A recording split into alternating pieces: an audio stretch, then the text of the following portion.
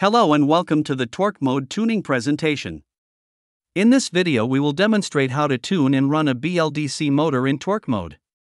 A prerequisite for tuning in torque mode is to have already configured and run the motor in open loop, as this essential step involves setting up the motor's sensors and conducting a basic motor evaluation. If this step has not been completed, we recommend watching our open loop configuration video first. Torque mode is a closed loop control mode used to drive the motor at the desired torque. Since the torque of a BLDC motor is proportional to its current, controlling the motor's torque can be achieved by regulating its current. No extra sensors are required for the torque loop, as the drive includes its own current sensors, which measure the motor current with high accuracy at 16 kHz. Proper tuning in torque mode ensures the motor's current follows the set point swiftly and with stability. In this presentation, we will utilize a pair of Nidec BLDC motors, with their shafts coupled together, or one motor serves as a load while the other is configured and tested in torque mode. Our test setup includes a torque sensor that supports the Modbus protocol, which we will interface with the Roboteq drive using microbasic scripting. Although the torque sensor is not essential for operating in torque mode, we will use it for demonstration purposes to verify that the target torque is achieved. For additional details on microbasic scripting, you can view our video tutorials or consult the how-to articles linked in the video's description. Begin by connecting to the Roboteq drive using a USB and then open the Roborun Plus utility. Proceed to load the configurations from the controller. At this point, many critical parameters necessary for the motor's operation, including pole pairs, sinusoidal angle sensor, encoder resolution, etc., should already be in place.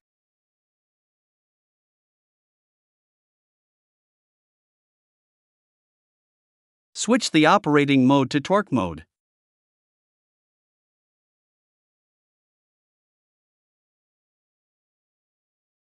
During the open loop configuration, we established some default values for the FOC gains to initiate motor operation.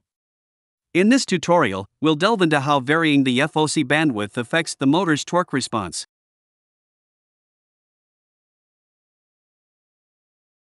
FOC, which stands for Field Oriented Control, functions as a PI loop and is essential for current control within the motor. It fulfills a dual purpose, ensuring the motor reaches the desired current level and maximizing the torque generated from this current.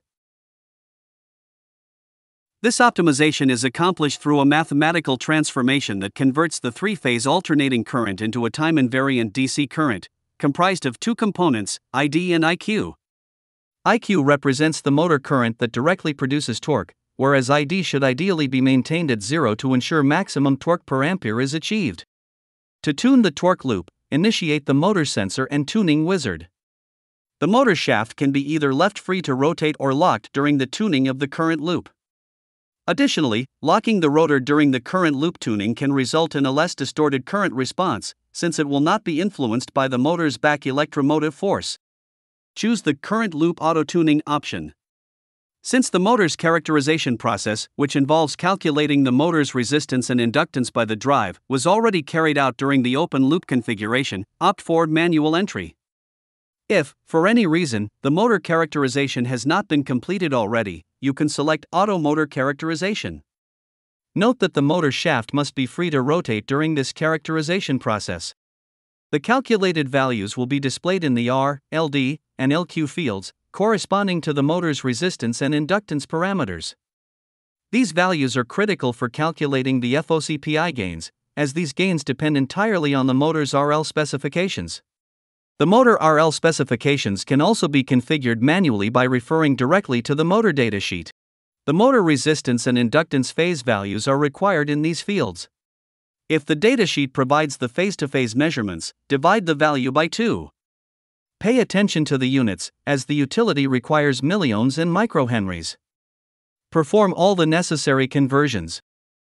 Click Next to proceed. Following this step, you will be asked to select a bandwidth. The bandwidth in FOC mode influences the responsiveness of torque mode by adjusting the FOC gains by a uniform factor. Let's choose the slowest possible bandwidth of 50 Hz to observe its impact on the current response. Click Next to continue. At this stage, we have the capability to input a specific current waveform into the motor as a current demand and then observe the motor's actual current response. The first two parameters determine the maximum and minimum values of the current waveform. Adjust these values to plus 5 and minus 5 amps to guarantee that the set point is achieved, even with the slowest bandwidth setting. The test wave period specifies the duration of the current waveform, while the repeat count determines how many times the test waveform is replayed. Maintaining the default values for these two parameters will not affect the test's outcome and can be used as is. Proceed to adjust the chart settings by removing motor power and encoder speed from the display. This adjustment ensures our attention is concentrated on the current response. Ramp command indicates the intended current values, torque amps shows the actual current which is expected to align with the ramp command, and flux amps is intended to stay close to zero, as previously explained. Click Run Waveform to start the test. The delay in torque amps arises from the low FOC bandwidth. The persistent loop error, where the set point is not achieved, is due to the rotor's movement. Engaging the motor brake by cutting its power can eliminate this issue. However, this isn't a significant concern because, with higher bandwidth settings, the current response will be swift enough to remain unaffected by any movement of the motor.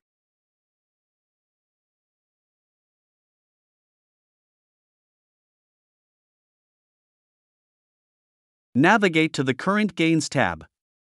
In this section, you have the option to test various current bandwidths and assess their impact on the motor's performance. Increasing the bandwidth from 50 Hz to 250 Hz should result in a current response that is 5 times faster. Selecting 500 Hz will make the response 10 times quicker, and the pattern continues with higher bandwidths. However, it's advisable to steer clear of bandwidths in the aggressive range to prevent the introduction of vibrations, particularly when employing cascaded control modes that depend on torque mode for speed or position control. Leave the slider at 500 Hz, which is considered an average bandwidth value. Click Next and then Save. In dual channel drives, this step allows you to proceed with configuring the second channel. For our purposes, select No since we're only configuring one motor at this time. Then, choose Cancel as we won't be exploring the configuration of other control modes in this tutorial. Set the motor's torque constant, measured in Newton meters per ampere. This value is essential for directly commanding torque instead of motor current. The drive adjusts the motor current to achieve the desired torque, using the requested torque and the motor's torque constant. Also set the motor's voltage constant, measured in volts per kilo RPM. Both torque and voltage constants can be configured by referring to the motor datasheet. Voltage constant will enable the decoupling current control of the motor. Decoupling control will enhance the motor's performance by allowing independent control of its torque and flux, thereby improving its efficiency and response time. Additionally, if the motor type is IPM, this parameter will enable the specialized control required for IPM operation. In IPM motor control, both torque and flux currents will be adjusted so that the motor can operate within the maximum torque per ampere region. The controller will automatically determine if the motor is an IPM type by assessing the LD and LQ values. Another important step before running the motor is to configure some closed loop speed PID gains.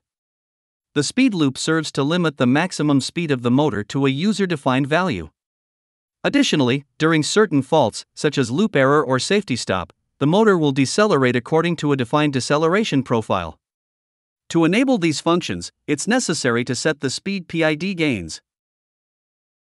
However, in this tutorial, we will not delve into the tuning of the speed PID gains. Instead, we will use default values that are known to work, solely for the purpose of enabling speed limiting. For more detailed information about tuning the speed mode, please refer to the respective tutorial. Next, navigate to the speed and acceleration section and adjust the maximum motor speed. As mentioned earlier, the drive will enforce the speed limit, preventing the motor from exceeding it even if the current demand necessitates it. Then, set the desired acceleration and deceleration values. These parameters do not directly affect the motor speed, but rather control the rate at which the current command accelerates or decelerates.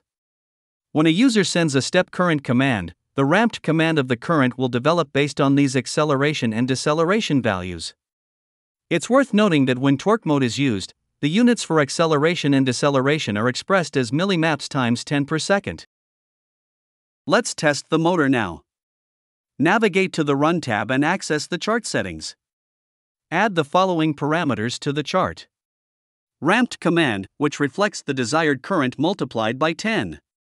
FOC torque amps representing the actual current responsible for torque. FOC flux amps, which should be kept close to zero, and motor speed. Send a motor command using the slider. The command provided will be proportional to the amp's limit value, scaled from minus 1000 to 1000. Be aware that the torque amps will be equal to the desired motor amps divided by 0.707 because motor amps are an RMS value and torque amps are a peak value. Notice the alignment between the ramped command and the torque amps. Observe how the speed is regulated to the maximum configured value of 3000 RPM.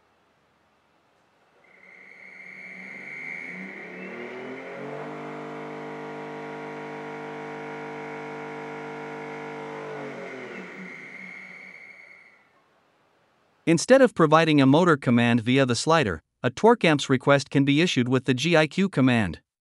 To achieve this, the watchdog timer should be disabled, otherwise, the command will reset after the watchdog timer expires.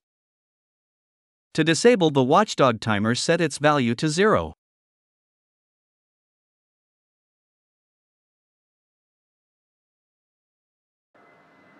Mute the slider as it will interfere with the provided serial commands. The units for the GIQ command are amps multiplied by 10. Feel free to test various current commands and observe the motor response.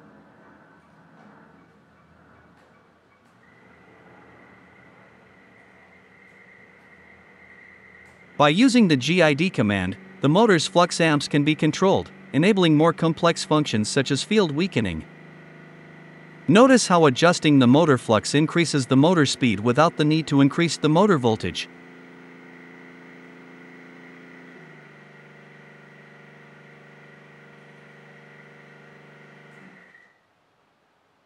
Automatic field weakening, which allows higher speeds to be achieved without the need for manual control of IQ and ID currents by the user, is available in Robo G4 products and will be discussed in a separate video.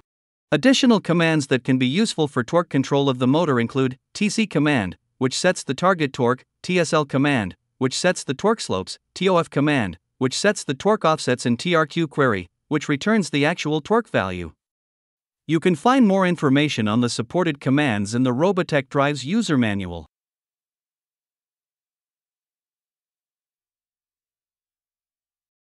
By utilizing the microbasic script designed to interface with the torque meter, we are able to monitor the desired torque in VAR1 and the actual torque in VAR2. For more information about the microbasic scripting application, please refer to the video's description. The units for both variables are expressed in Newton meters, multiplied by 100. Since the data from the torque meter is unfiltered, oscillations introduced by the mechanical setup can be observed. Nevertheless, it is clear that the torque requested matches the average value recorded by the torque meter.